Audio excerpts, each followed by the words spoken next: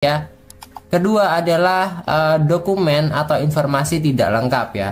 Jadi pastikan semua dokumen yang diminta Shopee udah lengkap dan benar ya. Nah, jadi kalau misal ada kesalahan kecil ya seperti nomor KTP atau salah atau dokumen yang buram bisa jadi penyebab fitur ini dinonaktifkan. Nah, kemudian alasan ketiga yaitu adalah karena penghasilan yang dianggap tidak memadai. Nah, jadi Shopee akan melihat kemampuan finansial kita. Kalian uh, kalian harus uh, mengetahui ya uh, batasan ya.